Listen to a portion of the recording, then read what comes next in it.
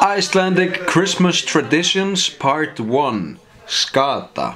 Skata is an Icelandic delicacy that we usually eat on the 23rd of December, called Þorláksmessa in Iceland.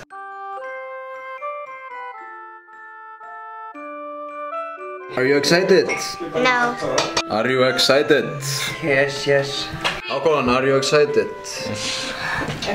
The most popular method of preserving skata is called kæsing, where we basically take it and put it out into the garage in a container and leave it there for three weeks so it can ferment. Then we take it back inside, we boil it, and then we enjoy it the day before Christmas Eve. We just have to separate the flesh from the cartilage.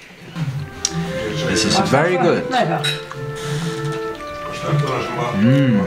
Ekki mann smaka. Tíman. How is it? Yeah. And Shirin will try the skate. Go ahead. Ha? Já, við erum kvöldur. How is it?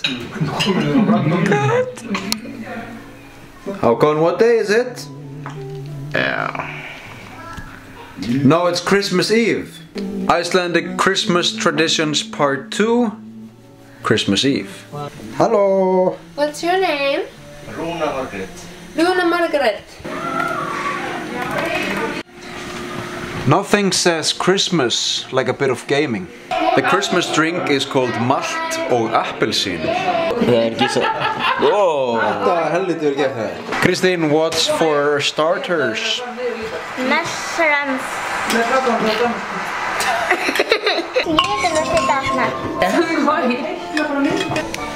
Not that we need more food, but now we wait for the main course. For Christmas Eve, some people like to eat reindeer, others eat ptarmigans, some even like vegan peanut steaks.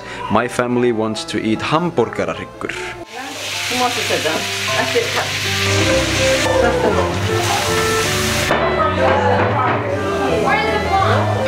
Dinner is served.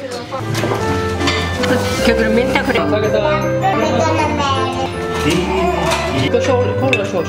Takk þetta. Hvað sól, kólasós? Hvað? Next up, what some people say is the best part of Christmas, I think it's just an accessory. Opening up this mountain of presents.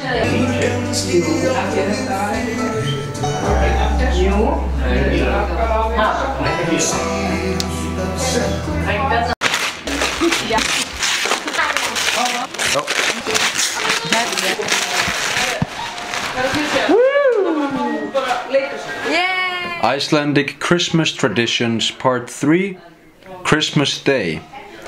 We are now at my grandfather's and we are going to do what we do every Christmas feast. So I am wearing black Shirin, how do you like the rice pudding? I haven't tried it. Let's try it. Hell ja.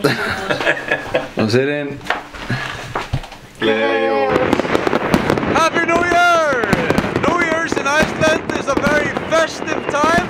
We like to blow up a lot of fireworks.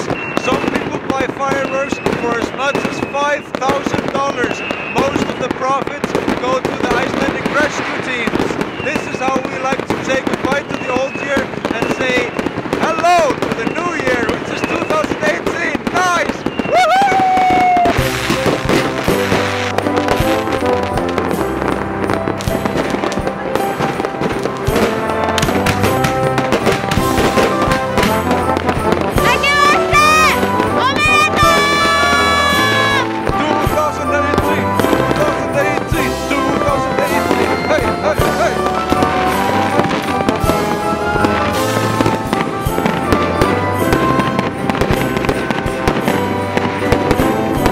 Entonces...